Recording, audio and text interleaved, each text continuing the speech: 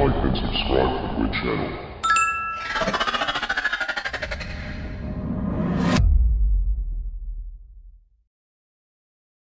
Nessuno. Silenzio.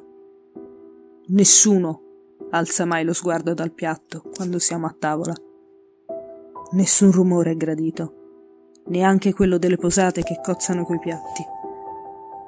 Nessuno respira nessuno si azzarda a preferire parola. Non davanti a lui, non davanti all'uomo di casa, non davanti al nostro padre. James Scott è sempre stato una persona di poche parole. Schivo, solitario, silenzioso, incapace di provare affetto, ci ha educati a suon di cinghiate sulla schiena, privandoci della nostra infanzia fin da subito. Neanche nostra madre è sfuggita dalle sue mani ruvide e grezze da contadino. La guardo di soppiatto, vedo il dolore su quel volto rovinato dalla stanchezza e dalle sofferenze. È una donna sottomessa e rassegnata, impotente davanti alla forza bruta di colui che avrebbe dovuto difenderla, difenderci dal male del mondo. Minuta, gracile, quasi inesistente. L'ho vista spesso aggirarsi per casa furtivamente, nervosa come un ratto davanti a un muro insormontabile. Siede ricurva sulla sedia e ingoia silenziosamente dei miseri sorsi di minestra. Anche oggi nostro padre non è stato capace di portare a casa una fetta di carne. È nervoso, lo so. Mi si accappona la pelle nel sentirlo alzare bruscamente da tavola e sbattere violentemente il pugno su di essa. La minestra non è di suo gradimento, come al solito. Scaglia il piatto a terra, bestemmiando e offendendo nostra madre. Puttana! Troia! Incapace! Conosco a memoria queste parole ormai sono diventate la colonna sonora della mia vita. Lei non alza lo sguardo, sa di non poter rispondere.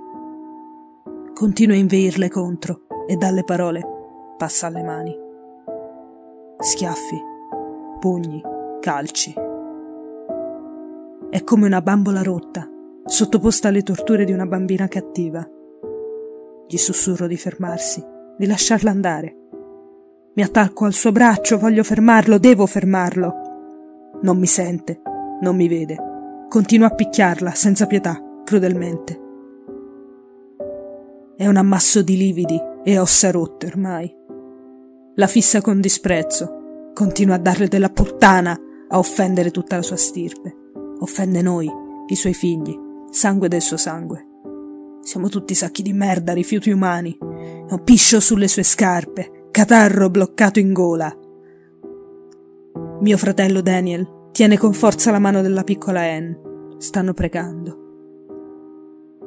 Chiedono al Signore di liberarli da questo destino infame, gli chiedono di salvare nostra madre, ma Dio evidentemente non c'è.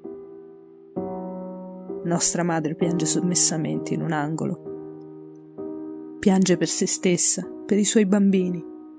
Piange per il piccolo Carl che se n'è andato un mese fa per le troppe botte prese. Si dispera per quel corpicino esile, per quel faccino tenero, per quel sorriso ingenuo. Nessun prete ha benedetto la tomba del fragile Carl, nessun fiore è stato deposto su di essa. Maledice quell'uomo, quel mostro che ha sposato nella speranza di vivere una vita decente e lontana dalla povertà. Ma i suoi pensieri ritornano sempre al piccolo Carl, quel bambino strappatole con la forza, levatole dalle braccia crudelmente.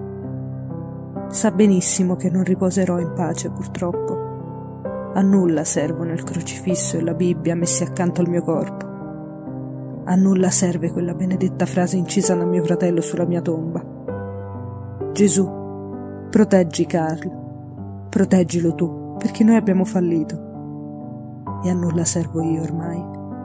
Sono soltanto il fantasma di un bambino, un inutile, ingenuo bambino.